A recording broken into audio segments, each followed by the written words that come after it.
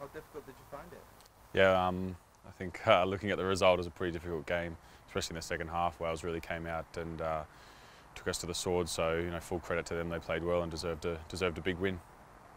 How would you assess your own and, and the Six Nations?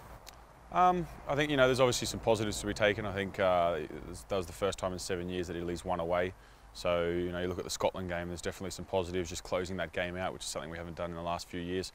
But um, you know, I think defensively we've conceded a, a, a, fair few points, so that's something we'll have to look at going into the World Cup.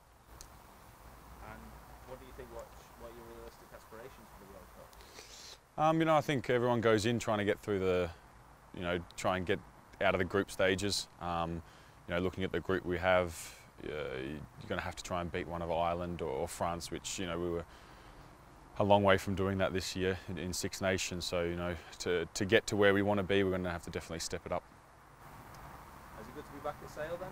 Yeah, you know, obviously, um, you know, it's good to be back, back home. Um, got a few games left, not too many games left, and everyone wants to push on and try and get into that top six and see how far up with the table we can really get. So, you know, some big, big games coming up. Say this is a must-win to get to get to the Euro qualification now? Yeah, um, more or less. I think uh, every game at home is, is more or less must win now. Uh, fight with five games remaining, um, they're, they're, vital, and uh, especially playing a, a, team that's you know snapping at our heels. And you've won six out of the last eight at the AJ Bell, so would you say it's becoming a fortress for you?